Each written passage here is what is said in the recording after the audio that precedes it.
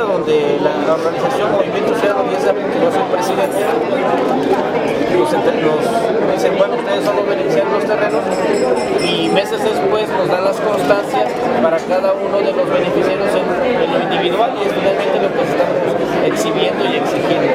Y vivienda las toma como válidas, pero ante la marrullería que prevalecía en la Secretaría de Gobierno con Gerardo Buganza, pues no se podía, no se hacía la entrega porque se requería de la fuerza pública para, para entregarlo, ¿no? Nosotros vamos a viviendo así, efectivamente es nuestra firma, nos va a decir.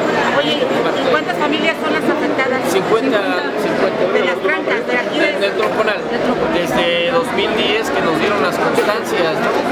Sí, la, no, ahorita la, la, confrontación efectivamente que era, era lo que el riesgo que se corría no se dio esperando que las cosas caminaran bueno ve, veíamos que iba a haber cambios en el gabinete del de, gobierno del estado sí entonces digo bueno si ya eh, se va a Buganza, ojalá se acabe esta, esa marrullería en la Secretaría de Gobierno, esperemos que... ¿Qué piden? ¿Exactamente qué piden? Que se haga la entrega física de los terrenos, que, que quiten a, a, los invasores de Antorcha Campesina, porque son quienes invadiendo los terrenos.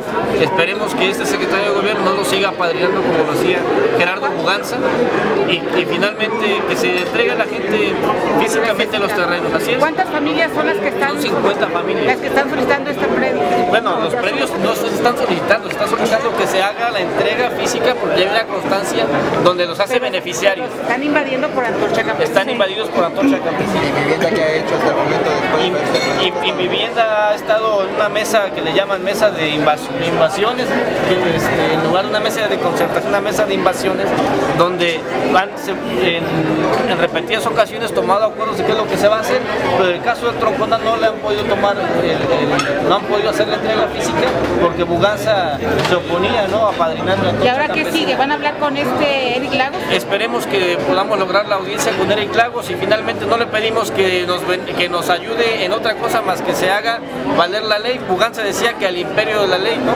¿Tienen ustedes pruebas de que son de suya las, la, la, la, los terrenos? Aquí están las constancias. Es en el Tronconal, ¿no? En el Tronconal. Desde el 2010. 2010. Llegaron los antorchos y... No, Antorcha Campesina tiene poco menos de dos meses.